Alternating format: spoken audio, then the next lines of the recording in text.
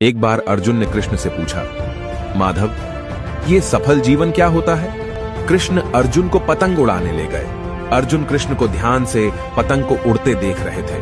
थोड़ी देर बाद अर्जुन बोले कि, अधव, ये धागे की वजह से पतंग अपनी आज़ादी से और ऊपर की ओर नहीं जा पा रही है। क्या हम इसे तोड़ दें? ये और ऊपर चली जाएगी। कृष्ण ने धागा तोड़ दिया।